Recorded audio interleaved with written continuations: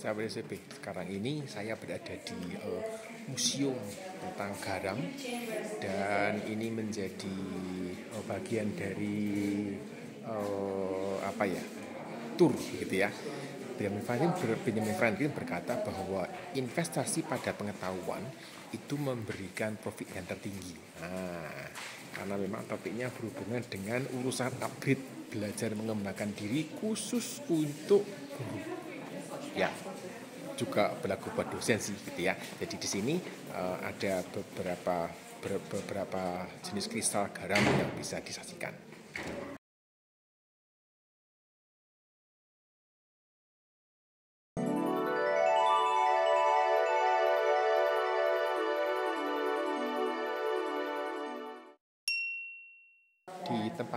Disimpan beberapa peralatan yang dipakai juga teknologi yang pakai zaman itu untuk um, menambang garam gitu ya.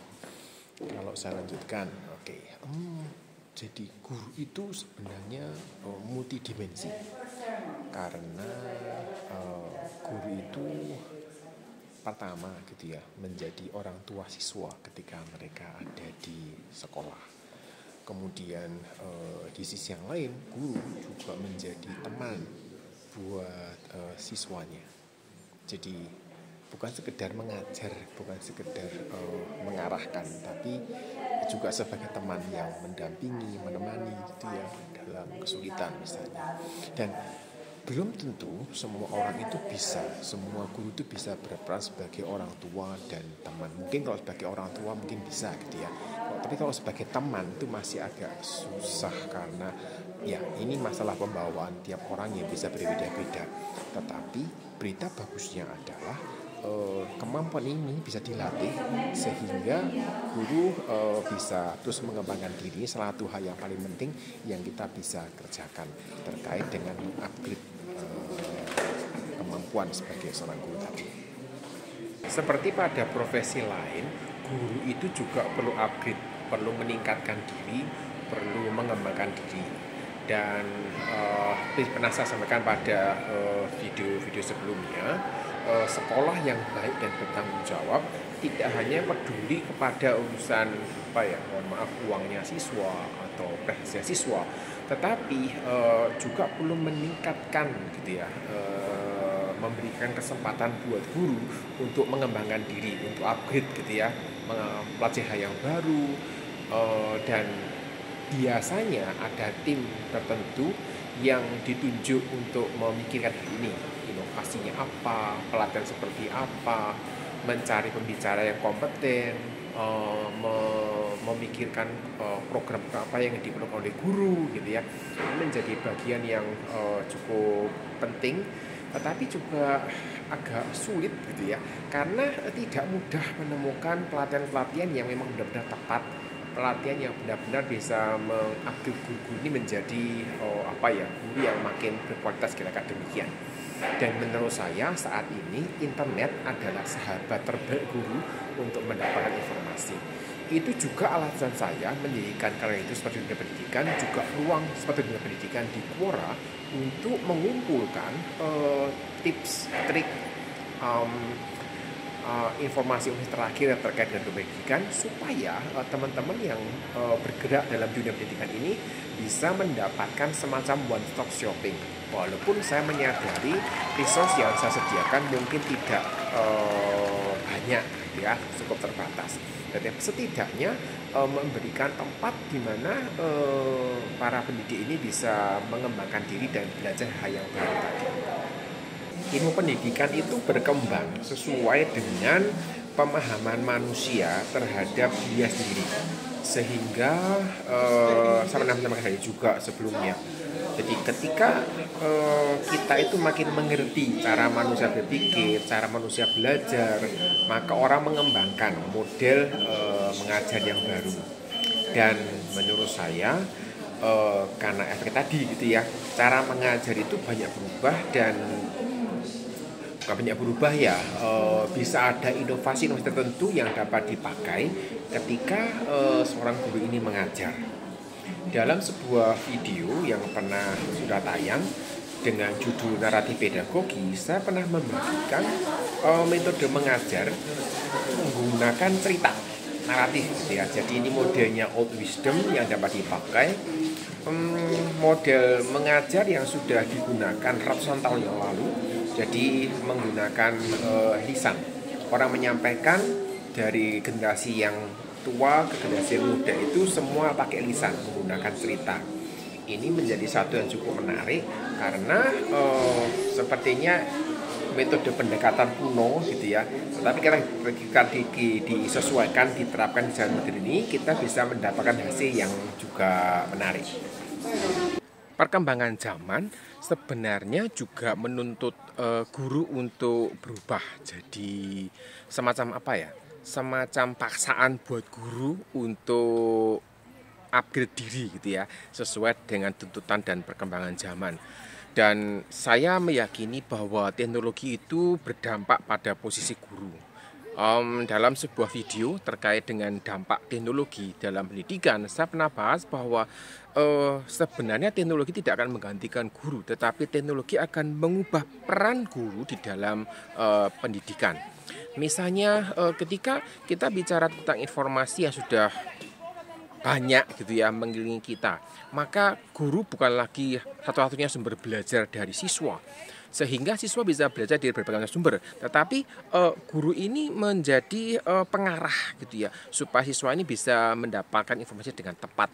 Supaya uh, mengajar siswa untuk bisa menyaring informasi dengan tepat. Karena tidak semua informasi yang berada di internet ada informasi yang bertanggung jawab. Kemudian kompleksitas anak dan remaja juga mendorong guru untuk belajar lebih lagi. Saya meyakini bahwa eh, pemahaman eh, guru yang dipakai untuk mengajar eh, siswa 30 tahun yang lalu gitu ya, itu sudah berbeda dengan situasi sekarang ini. Kenapa? Karena kompleksitasnya sudah berbeda. Di masa 30 tahun yang lalu kita belum mengenal internet gitu ya sehingga tidak ada istilahnya uh, siswa yang kecanduan dengan uh, medsos sekarang sudah banyak gitu ya. Siswa yang kalau tidak ngecek medsosnya dalam waktu 10 menit sudah gelisah gitu ya.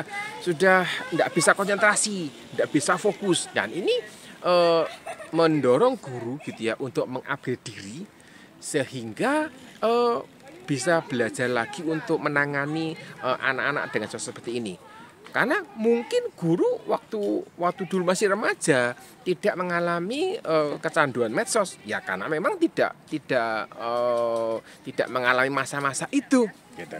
Jadi ini hal-hal yang apa ya? dalam sisi positif dia memaksa guru ini untuk menjadi pribadi yang terus berkembang, mau belajar dan mau diupgrade.